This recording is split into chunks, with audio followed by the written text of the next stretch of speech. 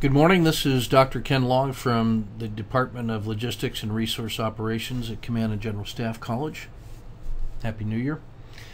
This briefing provides an overview of Forward into Battle, an operational JRSO&I game, joint reception, staging, onward movement, and integration.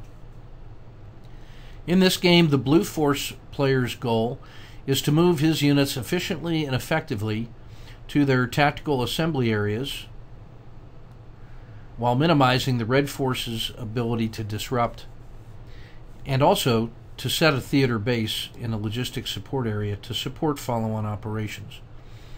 The conceptual map consists of a series of seaports where Blue Forces will arrive, then a transportation network featuring nodes and routes that act as staging areas and fuel storage locations for units on the move.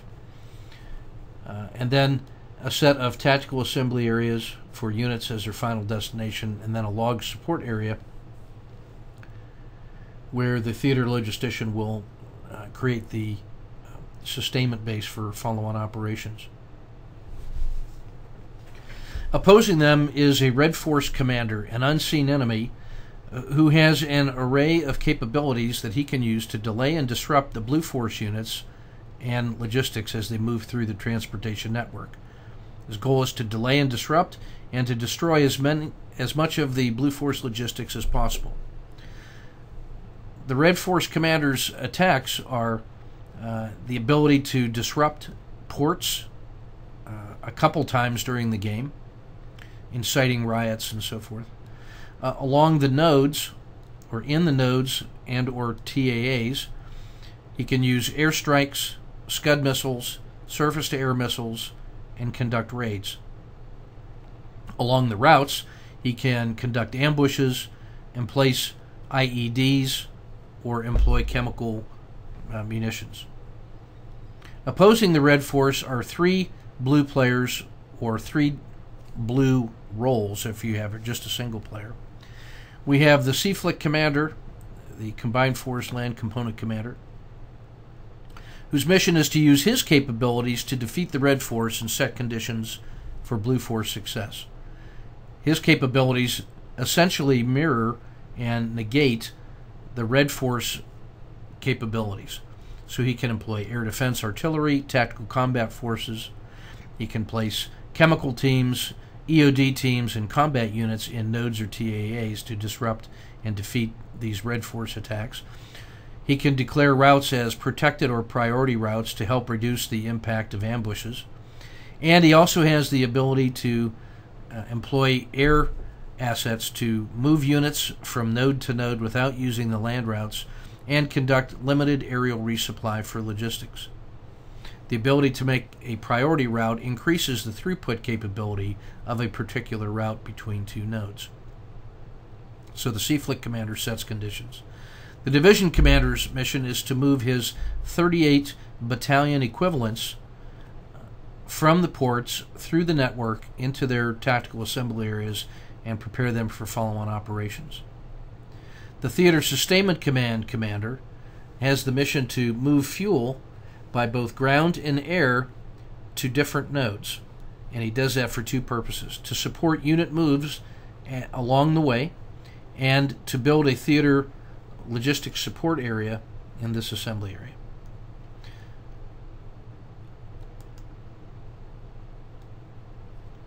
As a quick reference, uh, this table uh, shows the comparison between Red's portfolio of capabilities and Blue's countermeasures uh, that will reduce the effects and reduce the probability of success.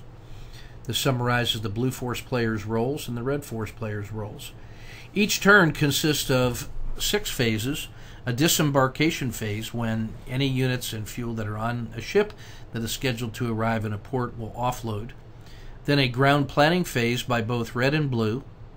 A ground action phase where the results of those actions and moves are uh, calculated an air planning and an air action phase in which the Blue Force is going to move one unit and fuel, and then the Red Force is going to try to interdict with surface to air missiles.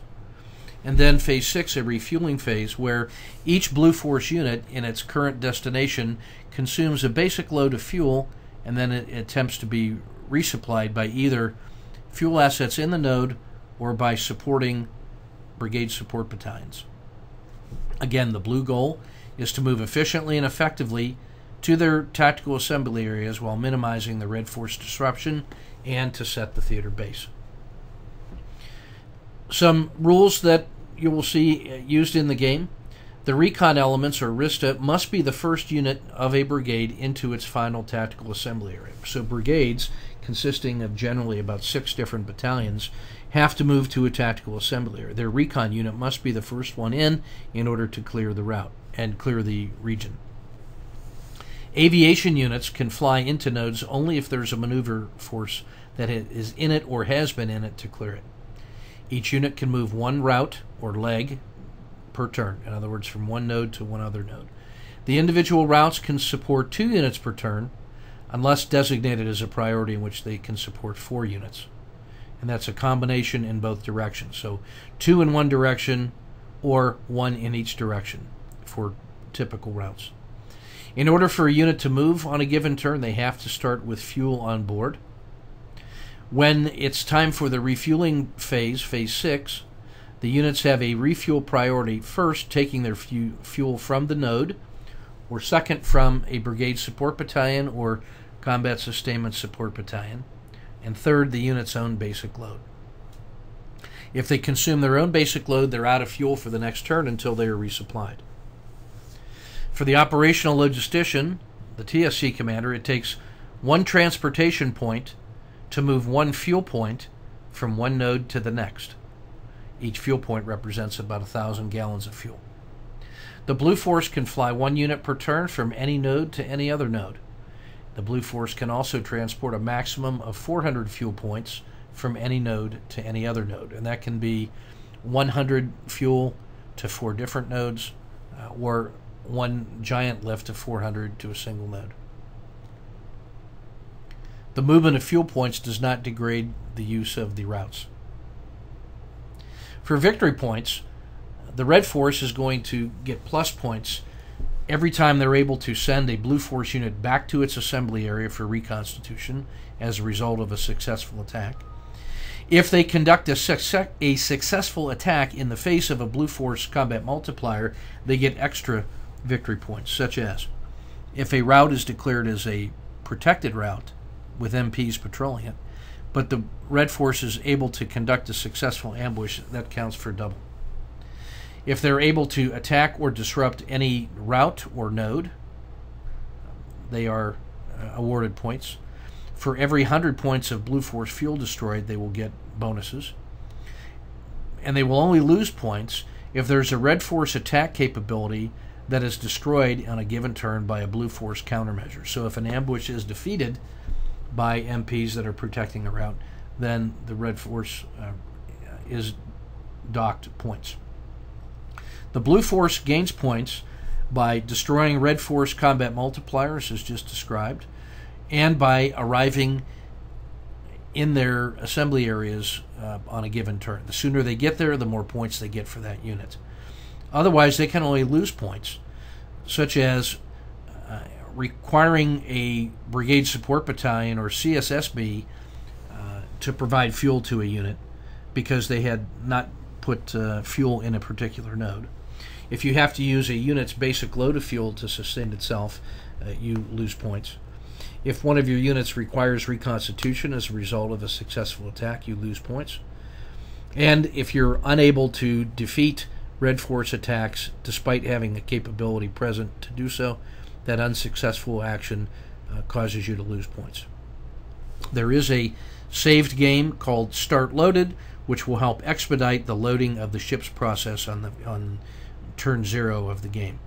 Uh, you can either use that one and then adjust it, or you can load the division unit by unit with fuel slots.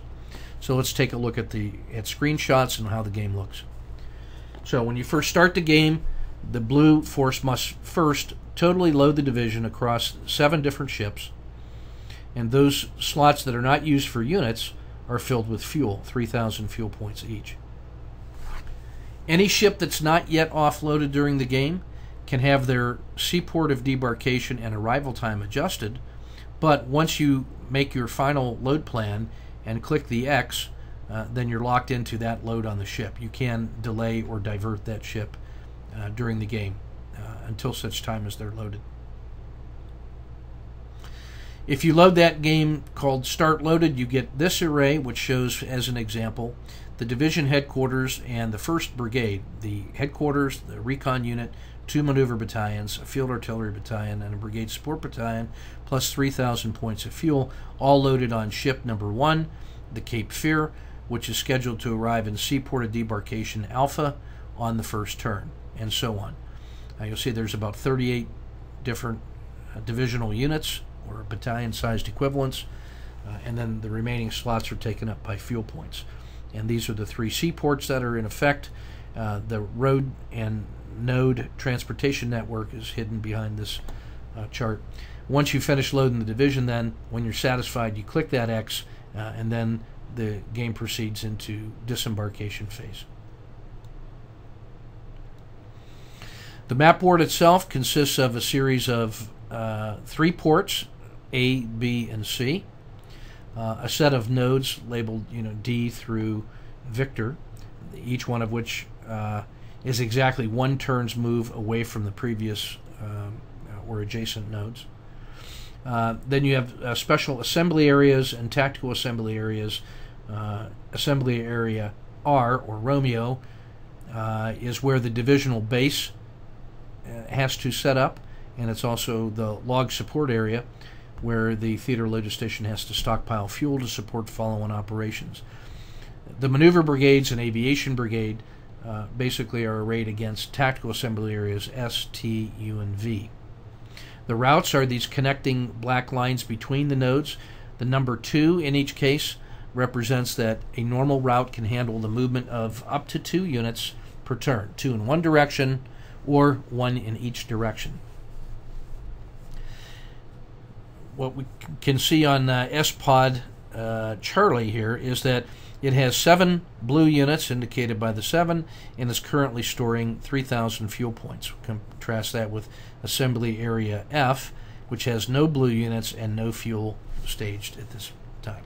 So after turn one, uh, we have seven units and 3,000 fuel points in A, six and 6,000 in B, seven and 3,000 in C.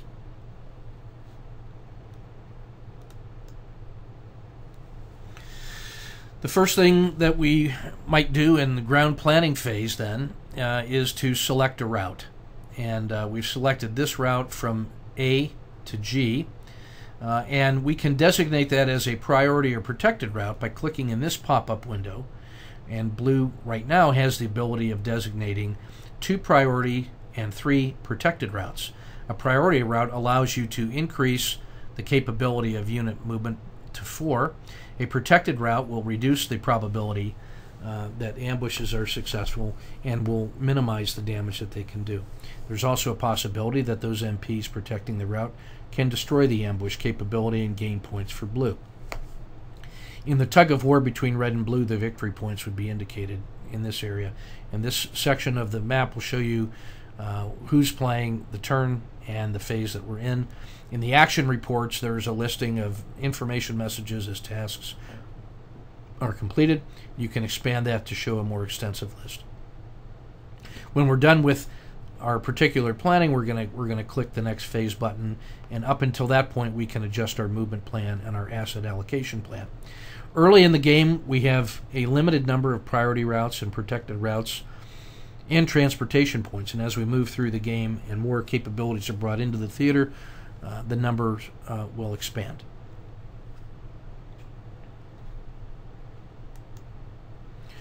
When I click on the Asset Manager, uh, I have the ability now to erase some of those Blue Force capabilities.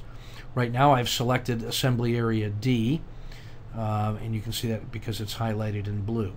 And the assets that I have available to allocate is the CFLCC commander indicated here. I have two air defense artillery teams, an NBC team, an EOD team, and a tactical combat force. By selecting uh, the radio button, I can uh, assign one of those or more of those teams against each node.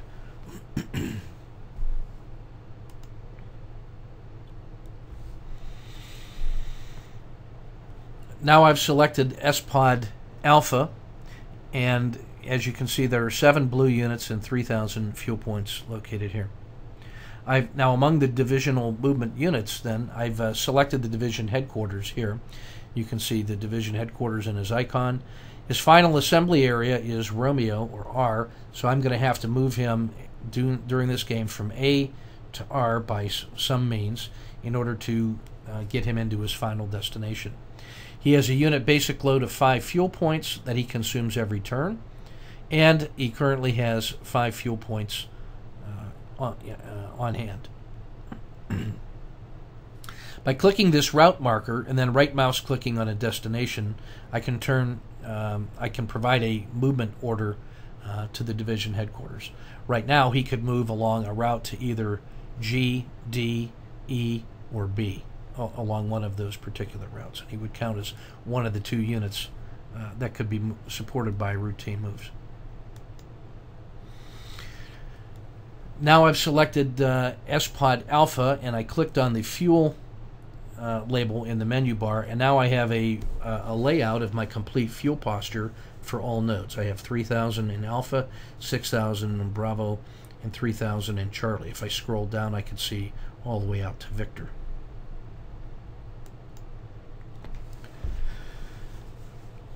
In this example, I have selected SPOD Alpha and I've clicked on Convoys.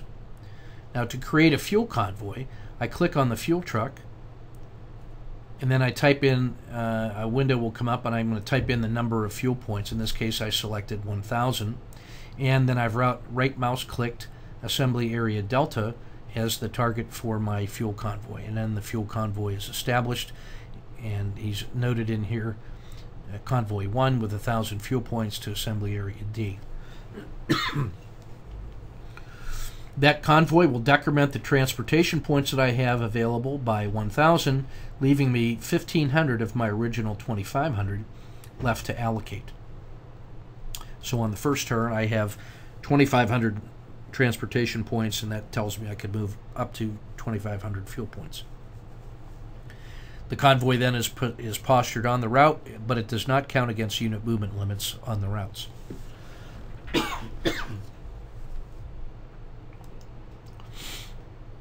After creating that convoy C1 to carry the 1,000 fuel points from A to D, if I then go back and click on the fuel uh, menu command, uh, you'll see that the fuel report has been updated to reflect 1,000 fuel points being moved from the storage in Alpha to this convoy and then with a destination. At this point in the turn, if I call up the deployment planning window, you can see that uh, my first three ships have been offloaded, and um, I would have the ability to change the location uh, of each of these ships and the turn on which I want them to arrive. However, I could not cross level between uh, ships at this point. Uh, each ship can completely offload uh, each turn, and they will do so automatically.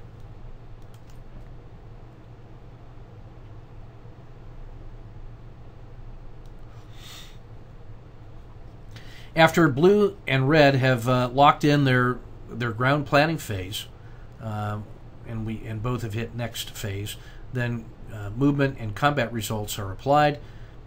In this case, you can see that there's um, a uh, the red has placed an IED along route AD and put uh, persistent chemical along route CE. Um, and then we move into uh, air planning phase. In the air planning phase, the blue can move uh, one unit from any node to any other node, and up to a total of 400 fuel points from any combination of nodes to any other combination of nodes. It's a good way to offset successful red attacks, and it may leave a node uh, with, uh, if there is a successful red attack that might have decremented fuel in a node and would otherwise have a shortfall, you might use aerial resupply in order to build stockages forward. And what we've done here is uh, Blue has planned to send 200 fuel points each to Assembly Area E and Assembly Area India from SPOD Alpha. So A1 is going going to fly to E, and then uh, going to fly 200 to to I. And that's built in the same way as ground convoys by clicking the uh, the Chinook icon and typing in the number of fuel points to move, and then right mouse clicking the destination.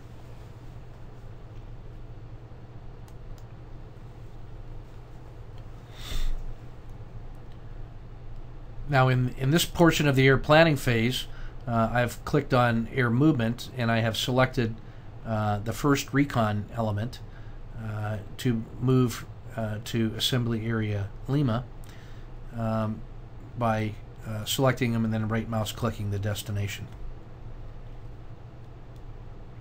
Now, both fuel convoys, uh, the aerial resupply convoys, and the unit movement convoy will arrive in their in their destination node unless uh, Red has placed a surface-to-air missile, one of his capabilities, in there, and and then that SAM missile uh, has a successful attack against the uh, uh, the air movement unit.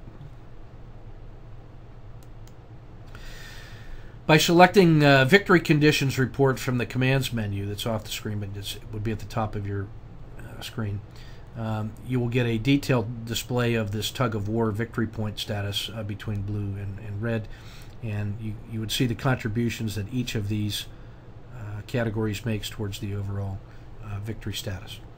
Um, so that's that's a quick look at uh, at what the screens look like and uh, the basic flow of the game. There's also a video provided um, that has a, an example turn showing live clicks with voiceover. So thanks for your kind attention. Enjoy the game.